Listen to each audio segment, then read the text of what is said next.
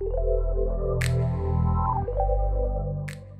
back to another Unreal Engine tutorial. If you haven't subscribed yet, please subscribe to my YouTube channel. In this video, we're going to learn how to use sockets in Unreal Engine.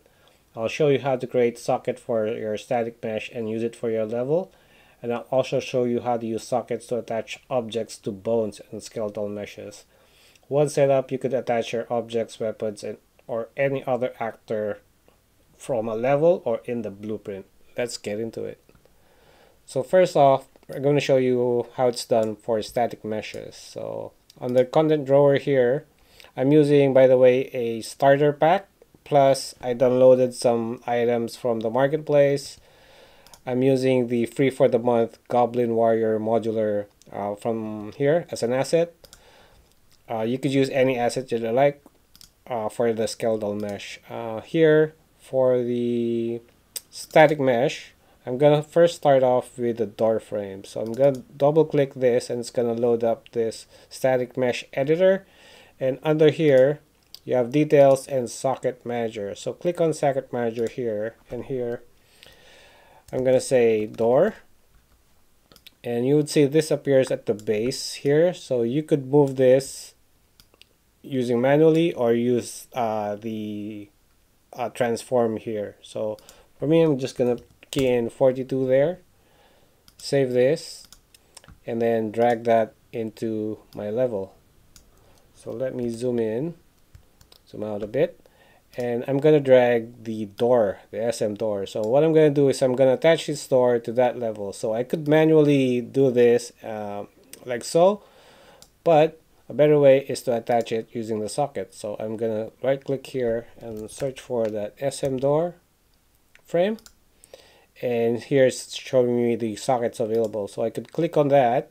Now I could reset the location here. So if I reset the location there it's gonna snap to that socket. So that's how you would use it for static meshes.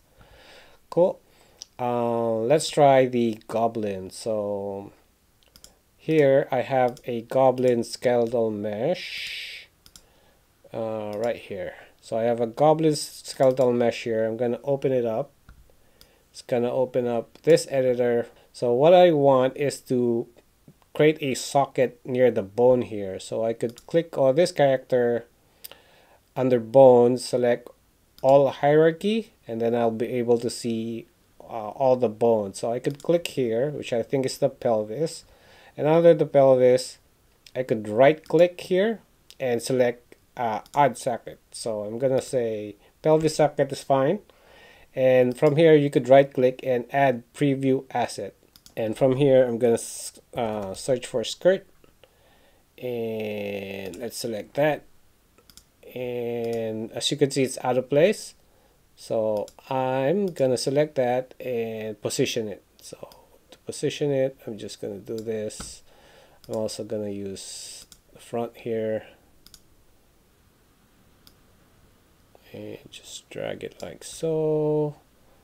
Let me go back to my perspective. That looks fine. Cool. I'm gonna save it. And then this time I'm gonna drag this um, skeleton mesh. As you can see here SK Epic uh, Goblin. And then I'm gonna go under the armor here and I'm gonna grab that skirt. Oops I think I grabbed a couple of them so I have a skirt here. So the same thing, you could position it like so, or better, here in the outliner, you could drag and drop it, and then it's gonna ask you which uh, socket. So I'm gonna select um, the pelvis uh, socket that we created, and then just reset uh, everything here, the location, the transform, and it's gonna snap that to your uh, skeletal mesh like so, like how you did it there. Cool. So that's how you you would do it for the uh, skeletal mesh from the out from the level. So, but the cool thing is you could also do this for the blueprint. So let me open up the content drawer and let's open up the third person. Uh, third person, I'm using this guy, right? Let me go to the viewport here. I'm using this guy. So I could add a um, a static mesh here. Let's say static mesh. And drag it on that actor. And I could let's say the lamp. And then I could manually position this um, rotate it position it uh, however I like. Oops.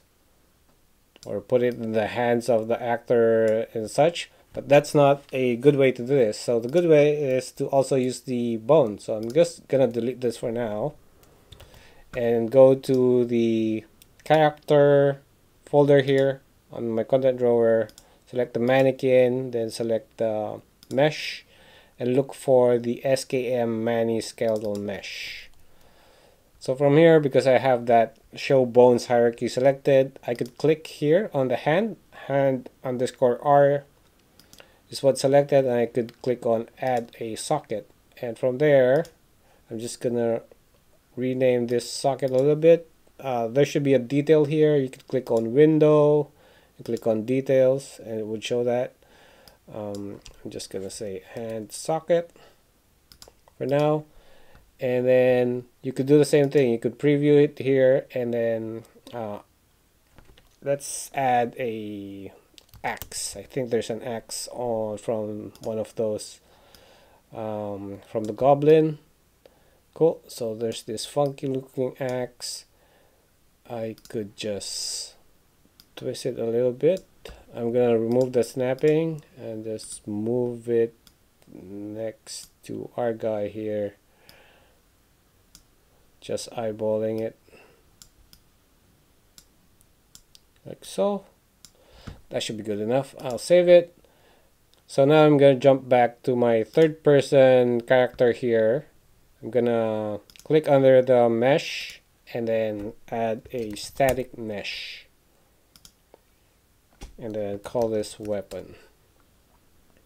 So because it's a static mesh only static mesh items appear here. So if I search for axe only the static mesh items appear here. So and and then under parent socket here I could click on that and select the new socket that we created hand socket and that should snap in place. And when we go to our third person map and play you would see the character has that axe on uh, their hand on the right hand. So I could go back here and probably create another socket I want one at the spine. So think it's called spine 5 yep spine 5 and I could create a new socket here I said preview this again. I'm going to remove, remove all attach.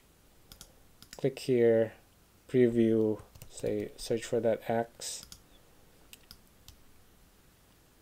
And just position this axe to the back of the character.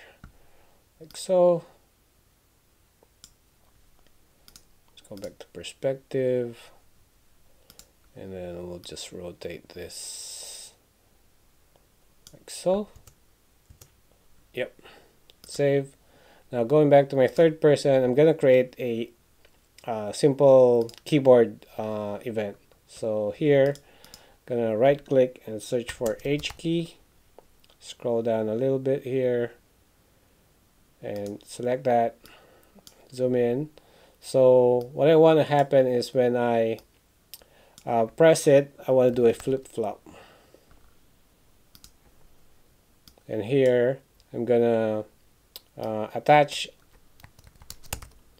component to component.